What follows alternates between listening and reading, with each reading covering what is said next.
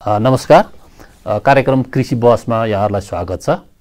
आज हामीसँग नेपाल कुखुरा पालक किसान सङ्घको अध्यक्ष झनक पौडेलजी हुनुहुन्छ। उहाँहरू चाहिँ कुखुरा पालक किसानका विभिन्न समस्याहरू लिएर अहिले केही समयदेखि आन्दोलनरत हुनुहुन्छ। उहाँका कुराहरू सुनौँ र उहाँका विषयहरू बुझौँ। यहाँलाई कार्यक्रममा स्वागत छ। नमस्कार। खास तपाईँहरूको कार्यक्रमको यो विरोध चाहिँ के विषयमा हो? धन्यवाद। किसान टेलिभिजन युनिटका सम्पूर्ण मेम्बर लगायत देशैभरि किसान टेलिभिजन हेरेर बस्ने श्रोताहरूप्रति पनि म जय किसान चाहन्छु। जुन मुद्दा तपाईँले उठाइदिनु भयो एकदम सान्दर्भिक र व्यावहारिक ढङ्गले उठाइदिनु भएको छ। वास्तवमा हामी कुखुरा पालक किसान सम्पूर्ण जातका कुखुरा पालक किसान आन्दोलनमा अहिले यतिखेर होमिएका छौँ। त्यो के को लागि भन्नुपर्दाखेरि सम्पूर्ण कुखुरा किसानप्रति चौतर्फी सिन्डिकेट लादिएको छ। विभिन्न किसिमका अन्याय अत्याचारहरू थुपरिएको छ। फेरि पनि हामी सङ्घर्ष गर्दै आएका थियौँ भने अहिले वर्तमान अवस्थामा अन्य सेक्टरभन्दा ह्याचरीको भन्दा औषधिको भन्दा अन्य प्राविधिक भन्दा पनि दानामा भएको अनियन्त्रित र अवैधानिक ढङ्गको मूल्य वृद्धिको कारण हामी अहिले सडकमा आन्दोलनमा छौँ।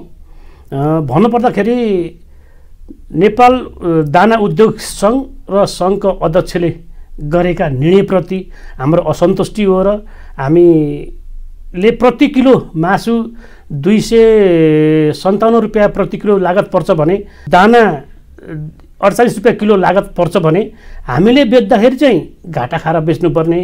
दाना उद्योगले प्रति किलो सोह्र रुपियाँ चाहिँ कालाबजारी र सिन्डिकेट लादिएको छ। त्यसैको विरुद्धमा हामी आम किसानको चाहिँ एकबद्धता साथसँग हामी सडकमा आन्दोलित भएका छौँ। तपाईँहरूको मुख्य माग चाहिँ के हो त अहिले?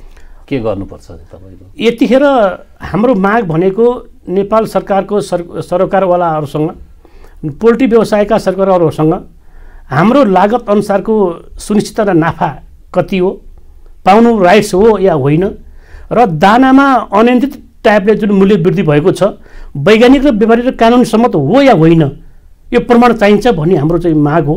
हामी भनिरहेछौँ घाटा आएको सर्वविधि जानकारी छ भने नाफा दाना उद्योगले जुन लिएको नाफा चाहिँ हाम्रो सबुत प्रमाणसहित लागत कति पर्छ उहाँको मुनाफा कति चाहिन्छ र कति कालोबजारी भएको छ प्रमाणसहित हामीले पेस गरिरहेका छौँ। म प्र प्रत्येक पटक पटक मन्त्रालयमा विभागीयमा हामीले पनि पेस गरेका छौँ र समग्र हामीले भन्नुपर्दा चाहिँ के हो भने अहिले यतिखेर दानाको मूल्यको अनियन्त्रित वृद्धि चाहिँ यो कालाबजारी नै हो यो चाहिँ लाई हाम्रो सहज छैन र यो पुनः विचार हुनुपर्छ भन्ने हाम्रो माग हो। त दानाको कुरा भयो उहाँहरूको कुरा भयो कि। तपाईँहरूको चाहिँ अब अहिले के मासुको मूल्य बढाउनु पर्छ भन्ने हो कि के हो माग चाहिँ? होइन मासुको मूल्य मात्रै बढाउनु पर्छ भन्ने हाम्रो माग होइन।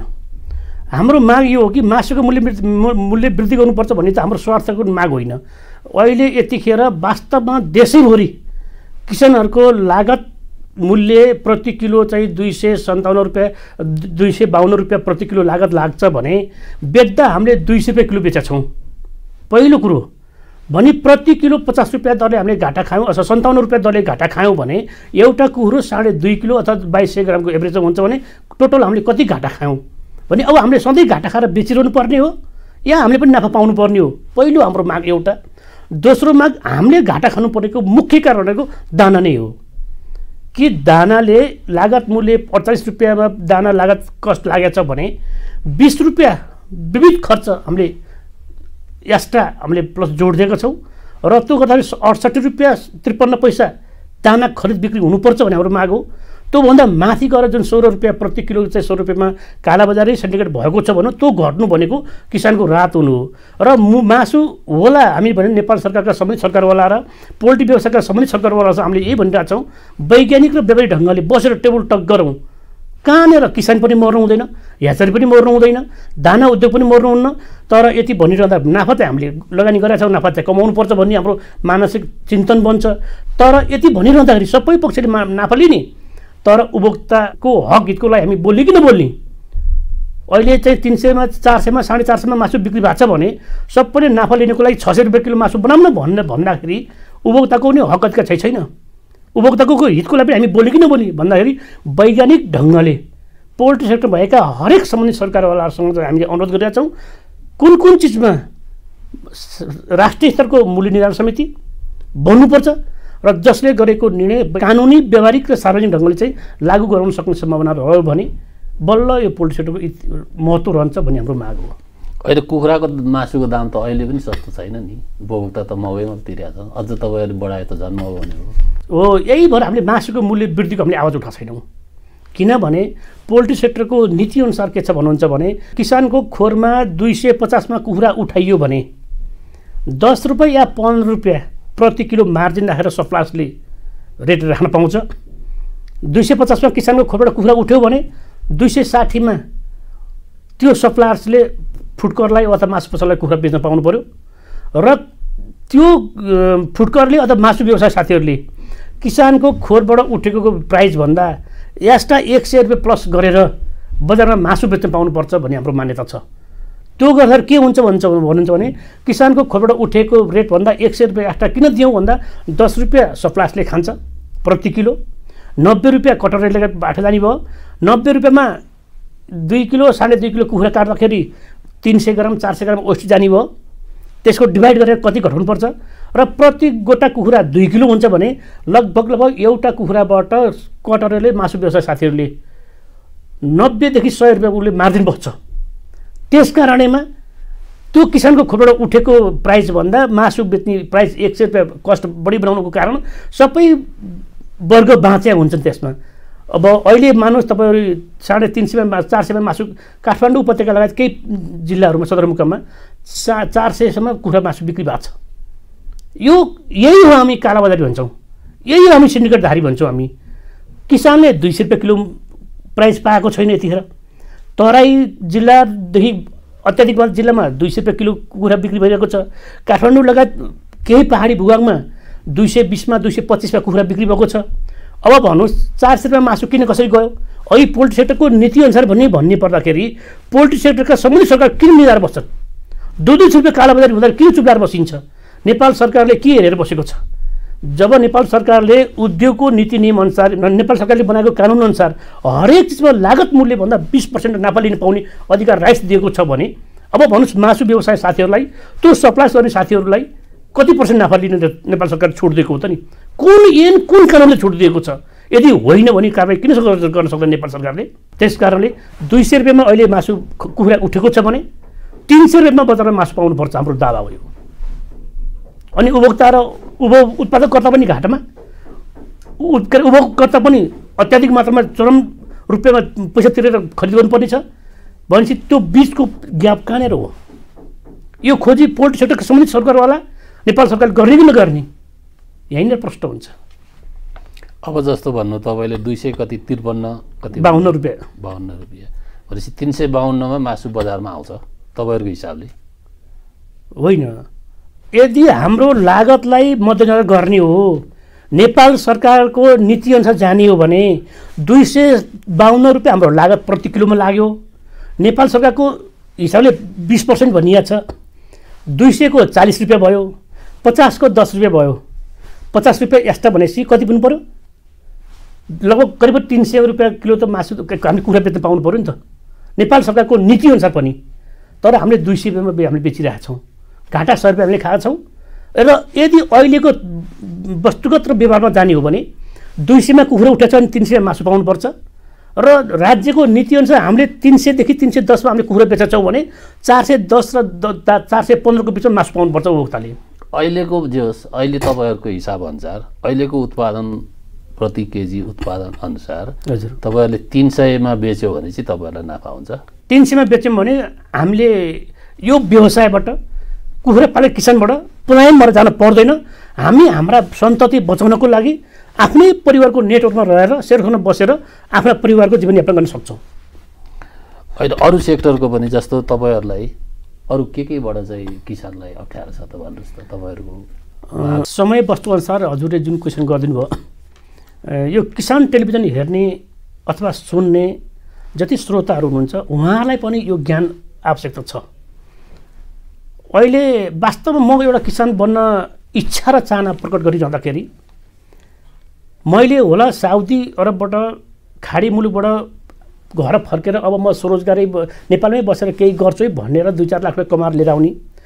आर्मी पुलिसबाट मास्टर जागिरबाट रिटायर भएर अब के गर्नु त घरै अब यत्र वर्ष त बाहिर सर्भिस सेवा खाएर बस्यो भने अब परिवारसँग बसेर रमाउनु पर्छ है भनेर जुन चिन्तन मनन गरेर हामी अब यो सबैभन्दा सजिलो पेसा के त भन्दा नयाँलाई उत्साह प्रदान गर्ने पुरानो विस्तार भएर जाने।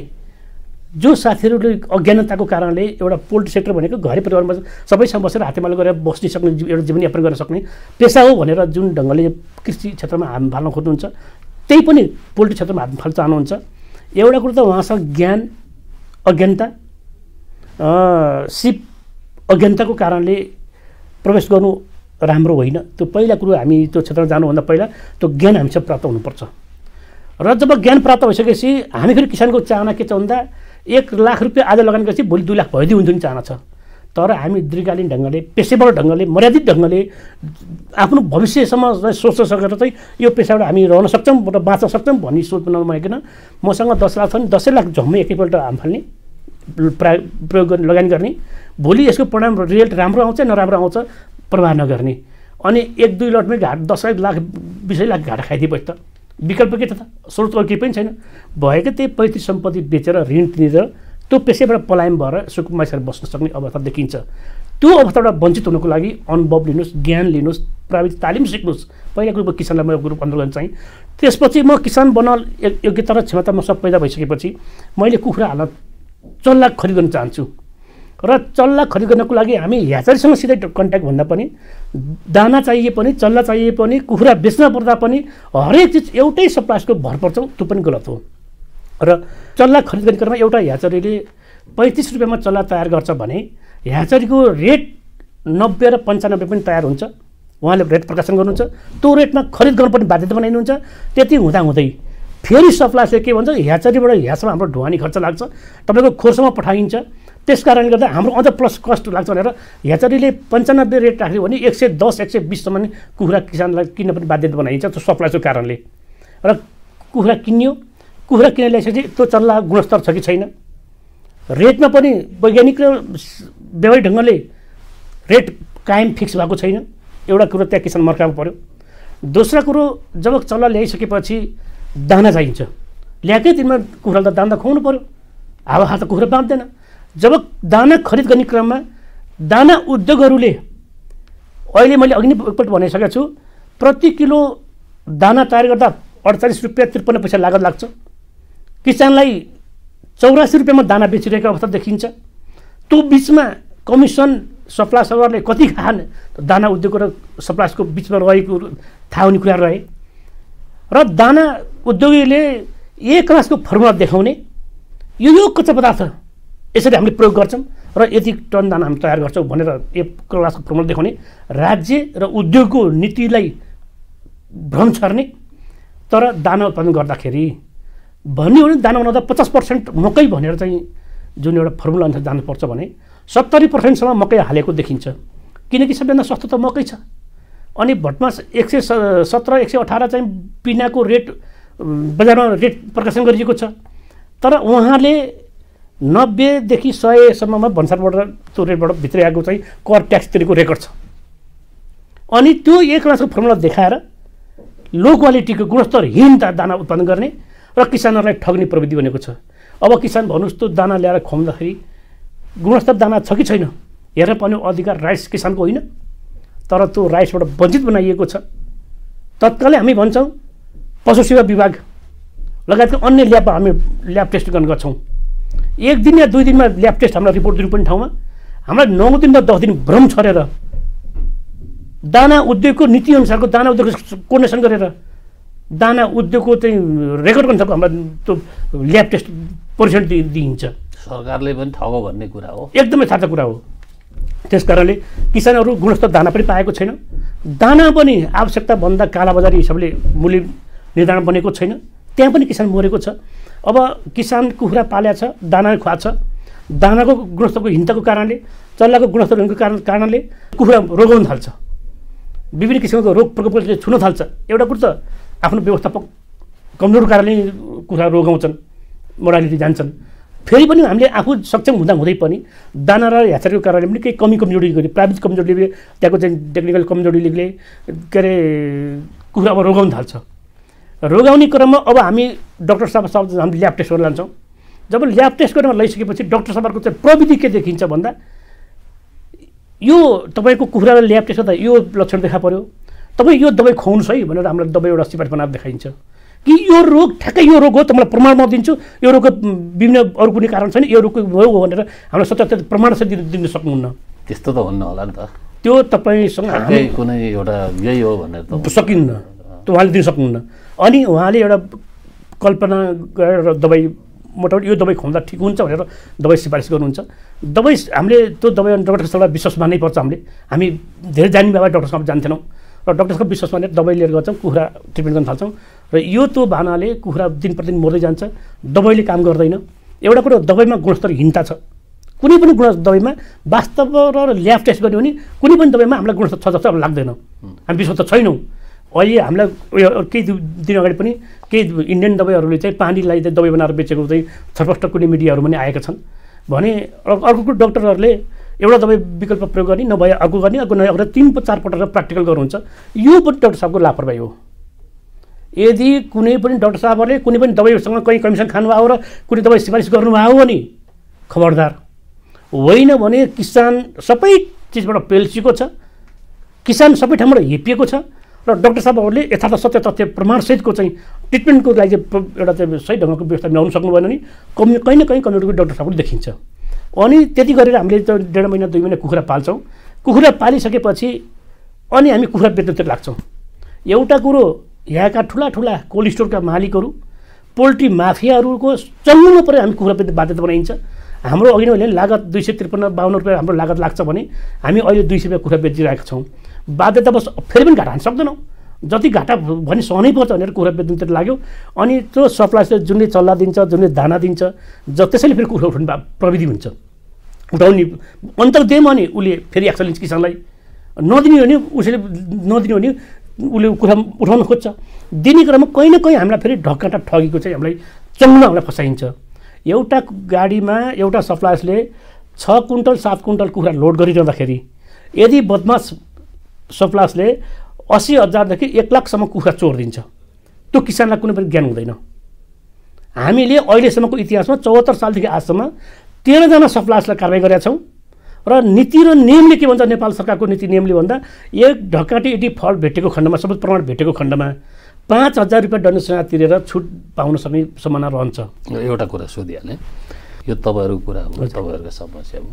उतापट्टिबाट के भन्छ भने अरू सेक्टरबाट चल्ला पनि फ्री दिन्छ दिन्छ दाना पनि दिन्छ सबै थोक दिन्छ औषधि दिन्छ लास्टमा कुखुरा पनि उठाइदिन्छ।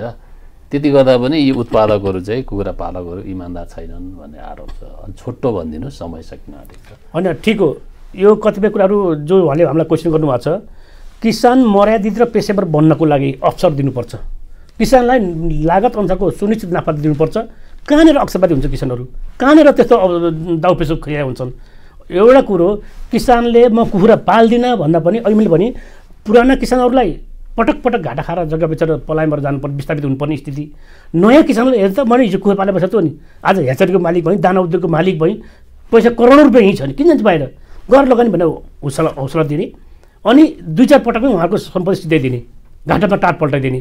त्यो रणनीति त छ त पोल्ट्री व्यवसाय सबमा मैले सिधै भनिदिन्छु नेपाल सरकारको केही कर्मचारीको तालमेल पोल्ट्री माफियाहरूको तालमेलमा यहाँ हजारौँ हजारौँ टन चाहिँ मासु भित्रिएको छ। अवैध खालका धन्दा भित्रिएको छ। कुखुरा भित्रिएको छ। अवैध खालका अहिले यति तत्कालै भन्नु तपाईँ इन्डियामा चाहिँ विभिन्न किसिमको बर्ड फ्लू रोगले प्रकोप व्यापक रूपमा महामारी फैलिएको छ। अहिले प्रतिदिन तपाईँ नेपालको तथ्याङ्क हेऱ्यो भने बिसौँ गाडी चाहिँ अवैध खालका कुखुरा भित्र नेपाल भित्राएका छन्। अब त्यो भारतको बर्ड फ्लू रोग चाहिँ नेपालमा प्रवेश गर्यो भने देखिया छ मोरङमा चाहिँ अहिले चाहिँ बर्ड फ्लू भनेर आज तिन दिन अगाडि चाहिँ एउटा न्युज आइरहेको थियो। बर्ड फ्लू भित्रियो भनेर। अब यहाँका पोल्ट्री सेक्टरका साथीहरूलाई यो जिम्मेवारी छैन यहाँको अलिकति गम्भीरता छैन। त्यो भारतको चाहिँ दुई नम्बर तस्विर अवैध खालका कुखुरा नेपाल भित्राउने नेपालको उद्यमीहरूलाई तहसनस बनाउने नेपालको बजारलाई ध्वस्त बनाउने अनि ने भारतमा भएका त फ्लू रोग नेपाल भित्राएर अनि भोलि यहाँको चाहिँ नेपाल के अरे उद्यमीहरू विस्थापित भयो नि यो जवाफदेही को हो नि? यति हुँदा हुँदै नेपाल सरकार चुप बसेको छ। हामीले पटक पटक गृह मन्त्रालयमा वाणिज्य मन्त्रालयमा कृषि मन्त्रालयमा पटक पटक ज्ञापन पत्र बुझाएको छौँ। हाम्रा निवेदन मुद्दा हामी दर्ता गरेका छौँ तर आजसम्म सुनाइ भएको अवस्था छैन।